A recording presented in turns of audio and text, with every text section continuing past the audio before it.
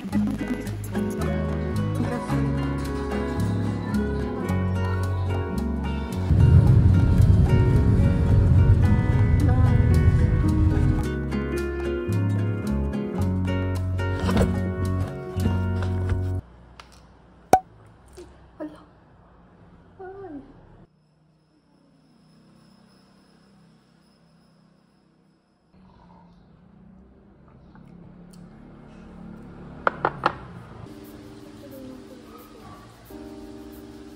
Как бы я на 40 минут разбил?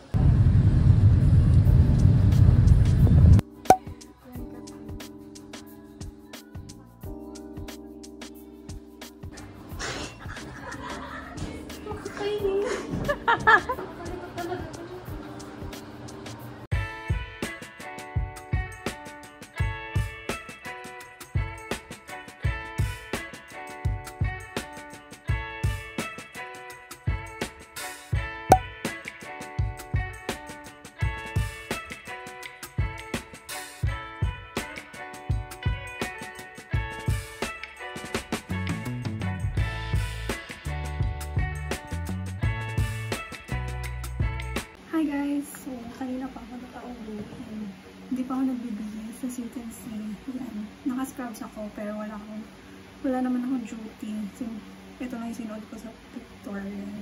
Hindi pa ako nakakapagbihis. Ayan. So, dumating pala ngayon yung order ko ng Logitech Crayon. Ito. Yan. Nabili ko siya sa Shopee. Yan. Actually, meron na akong pencil before. Ito yun. Ito, um, Gujudoc 12th generation. Ito yung nakikita ko na dupe ng Apple Pencil. Dumating to sa akin last June lang. And, trinay ko siya, gumagana naman. Pero hindi ko siya super nagagamit kasi tapos na yung classes ko before so hindi na ako nagtitake notes. After 2 months, dun ko lang siya nagamit for note-taking. After isang upuan na note-taking, nalubat siya. And after ko siya i-charge, 1 minute na lang siya naglalast.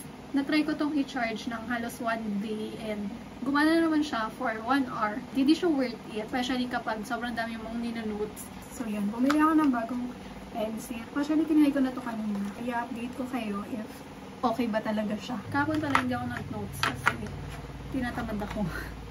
Pero last 20 pages na lang naman na ata yung hindi ko pa nasusulat. Um, itatry ko na matapos siya today. I mean tonight.